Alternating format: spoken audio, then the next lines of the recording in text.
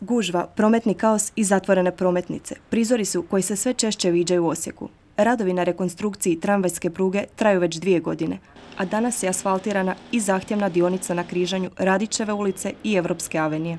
Do sutra iza podneva će ovo raskriže i biti pušteno u promet, bit će u funkciji, s time će se naravno i rasteretiti ovi obilazni putovi koji su do sada služili. Ja se moram zahvaliti građanima na strpljenju svo ovo vrijeme.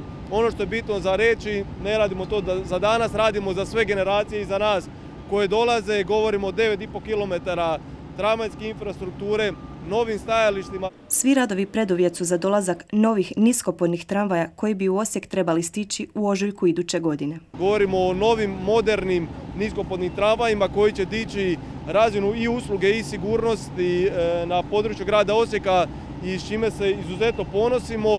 Grad je odlučio urediti 250 metara parkinga u ulici Evropske avenije, a njome će uskoro prometovati autobusi liniju tramvajsku 1 koji sada voze autobus i preusmjeriti na ovu staru trasu tako da će ovo stajalište postati aktivno i linija T1 će znači doći ovdje i skrenuti dalje u Radićevu i dalje prema zapadu grada. Ovog proljeća započet će i novi radovi na rekonstrukciji tramvajske pruge. Otvaramo novu dionicu, znači od raskrižja koje se trenutno završava i bit će završeno tamo kod sjedišta GPP-a Trpimirove i Evropska avenije. To raskrižje bi trebalo biti gotovo četvrtog ili petog idućeg mjeseca, a odmah tog dana bi otvorili dionicu, mi je zovemo u našem projektu dionica D04 u dužini od 370 metara, znači do Kuhačeve, ali sa istočne strane.